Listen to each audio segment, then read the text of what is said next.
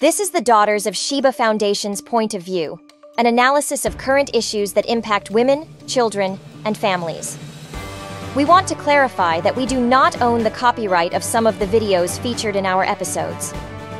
These materials are used within the guidelines of fair use, as outlined in Section 107 of the Copyright Act, and all rights remain with the original copyright owners.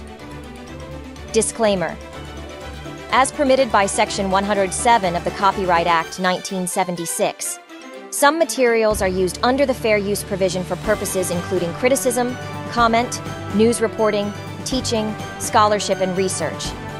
We encourage you to watch the videos and share your thoughts in the comments. Infidelity, cheating, is a common phenomenon that has been present with us as human beings and in our relationships since time immemorial. Negative consequences arise from cheating, infidelity, such as the breakup of marriages or the dissolution of these marriages, complete dissolution of these marriages, and significant psychological distress. Studies consistently show the profound impact cheating can have on both individuals and the relationships, including heightened emotional turmoil and the potential for subsequent relationship trust issues. Yet, despite these things, the incidents remain very high and prevalent among different cultures, ages, and genders.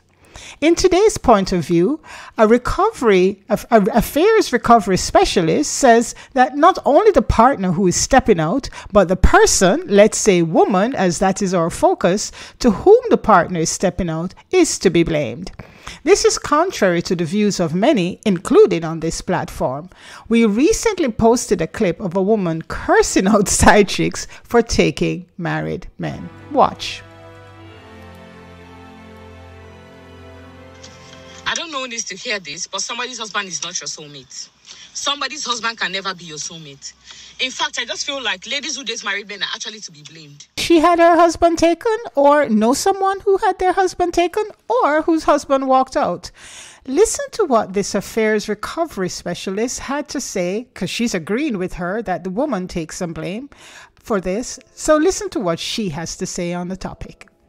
Every time I make a mistress video calling out poor behavior, there are women in my comments saying it's the man, not the other women. Let me make this perfectly clear to everyone who says this stuff. The woman who knows he's married is just as at fault. Is the man at fault? Mm hmm. Yep. But if the woman knows, if the mistress knows he is married, and does not care and either pursues him and or buys into the we're separated law without or separated lie without um, actually looking into it, she's at fault. There's a small percentage of people that literally get taken advantage to, especially with online dating. You don't know. We can't blame some of these women. They just don't know. And after a little bit, they find out. And there are the mistresses that when they find out, they call the wife. And sometimes wives get really angry. That that's not on them. We can't blame them. And there is grace to be said for many of these people. However, Besides a coworker is number one for affair partners. Do you know what number two is? A friend. A friend, a neighbor, best friend, or family member is the number two category. That means somebody who full on knows the entirety of the relationship and chooses to get involved with somebody who is married. And what's also horrible on top of that is they know all the issues that they usually have. So, no, we get to hold crappy behavior accountable. And again, on top of that, it is the woman's issue to heal themselves. We choose to heal ourselves and not looking at red flags and emotionally unavailable people is part of our job as a community, as women, to hold ourselves accountable to a higher standard to not be taken advantage of. You know what's not a girl's girl is somebody who goes for somebody else's husband. That's not a girl's girl. So we get to hold people accountable. Stop coming in my comments and saying, oh, well, it's the man's fault. Now, if she knows, which a large majority of women do know, it's her fault too.